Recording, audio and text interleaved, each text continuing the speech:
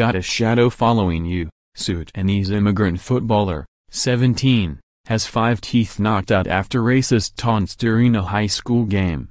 A Sudanese footballer claims he was racially abused on the field before an opponent knocked five of his teeth out with a sickening cheap shot.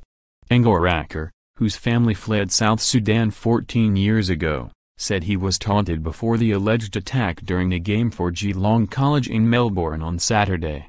A bloke turned around and said, Watch out you've got a shadow following you, and I walked up to him and said, Oi, trying to be racist?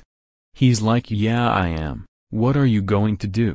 The 17-year-old told 9 News. Ngor said he then pushed his opponent before he was brutally hit in the face behind the play. I wasn't expecting it and then as soon as it happened I just got down on my knees and felt my mouth and saw a bunch of blood was coming out, he said. Ngor was rushed hospital with a fractured jaw and shocking injuries to his gums and lips. Five of his front teeth were dislodged from their sockets. It was a very strong strike on the jaw. It looked deliberate, a witness told The Age. He fell to the ground and was quite shocked and there was blood coming from his mouth. You wouldn't expect that sort of incident to happen on a football field. Ngor's mother, Shagai Gumralong, said she has been left devastated by the incident. No one deserves to be put down because they were born in certain way.